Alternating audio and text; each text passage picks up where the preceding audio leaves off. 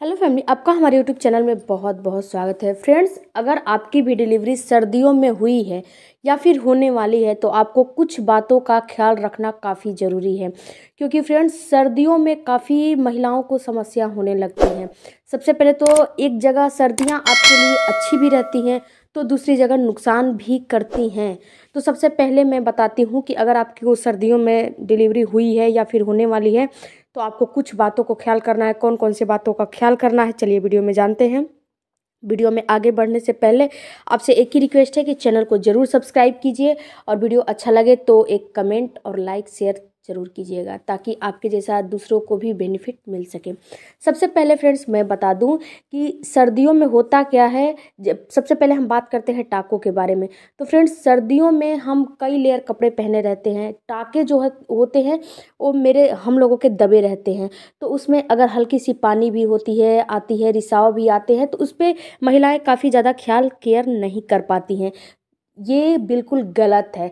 सर्दियों में थोड़ा सा आलस भी आने लगता है।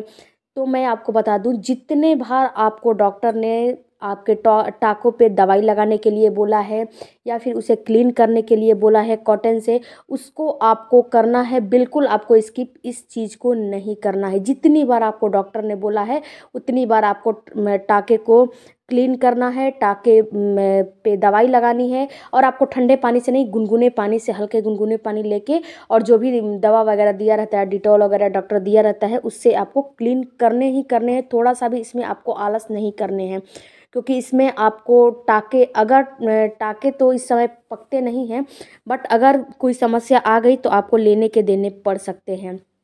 तो आपको थोड़ा भी आलस नहीं करनी है।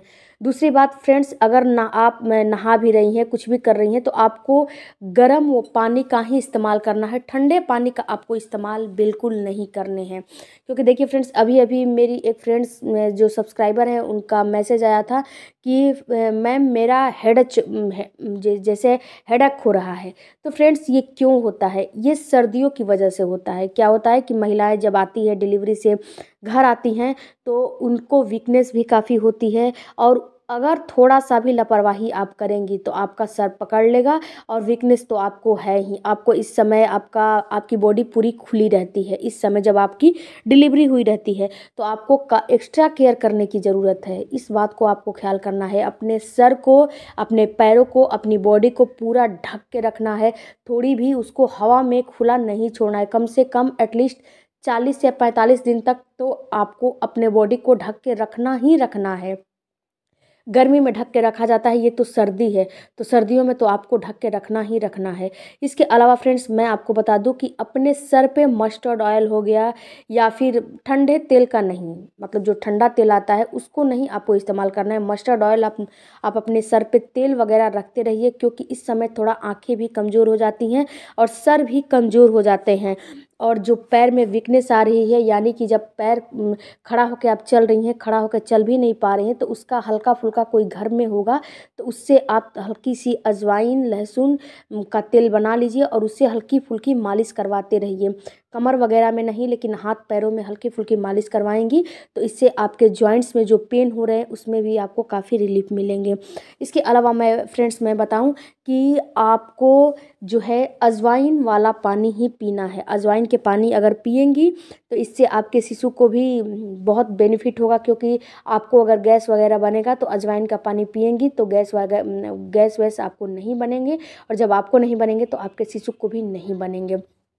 इस समय हर तरह की रंग बिरंगी सब्ज़ियाँ आ रही है तो आप हर तरह की रंग बिरंगी सब्ज़ियाँ खाने की कोशिश करिए।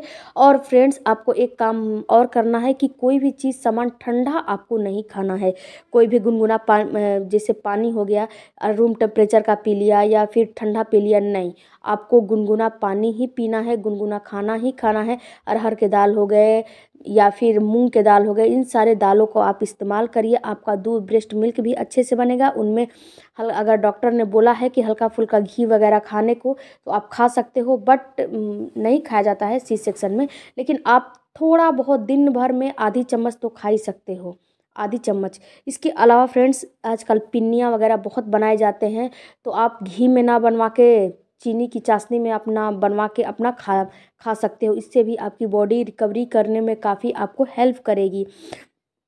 इसके अलावा फ्रेंड्स, हल्दी वगैरह हो गया, ये सारी चीज़ें भी आपको डेली बेसिस पे यूज़ करना है।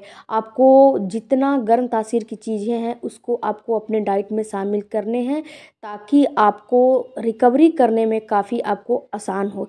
इसके अलावा फ्रेंड्स, आपको अपने पैरों को भी ढक के रखना है। नंगे पैर आपको बिल्कुल नहीं चलना है। बिना स्लीपर, बिना मोजे के तो आपको चलने ही नहीं है। इसके बाद मैं बता दूँ फ्रेंड्स कि जो अजवाइन का पानी होता है, उसको आप बना के रख लीजिए और उसको भी पीजिए। कोई भी आप फ़ूड, यानी कि कोई भी डाइट ले रही हो तो उसमें आप हल्का फुल्का हींग और अजवाइन का तड़का ज़रूर मरवाइए और हल्का तेल तेल वगैरह भी थोड़ा कम खाइए। इस समय गैस कॉन्स्टिपेशन की समस्या होती है और पानी पीने में लापरवाही आपको नहीं करनी है। अगर आप पानी पीने में लापरवाही करोगे तो सबसे पहले आपको गैस कॉन्स्टिपेशन होगा। स्टूल पास करने में आपको दिक्कतें होने लगेंगी। आपको जो है पेशाब जो वेजाइना है उसमें जलन होने लगेगा, कड़क हो जाएगा।